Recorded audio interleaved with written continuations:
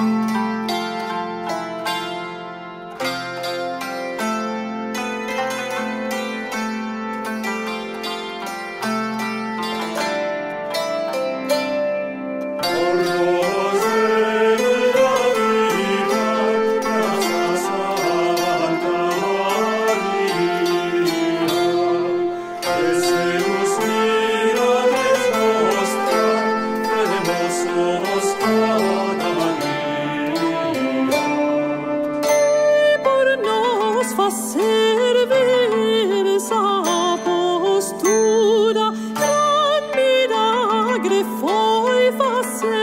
en Extremadura, en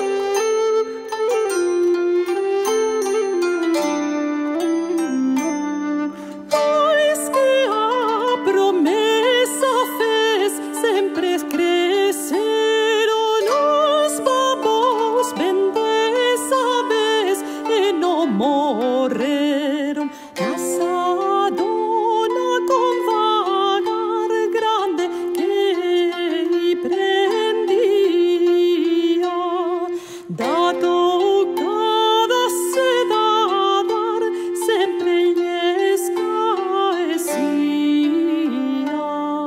por nos de dulce tirar razas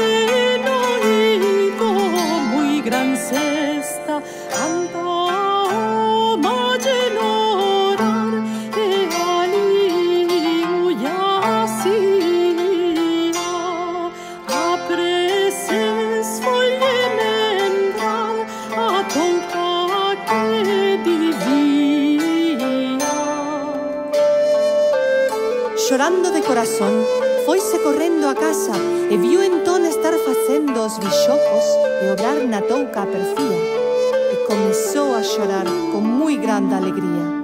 E pois que así chorou, meteu ben mentes na touca, desixamou moitas das xentes e que venesen parar mentes, como sabía a Madre de Deus labrar per santa maestría.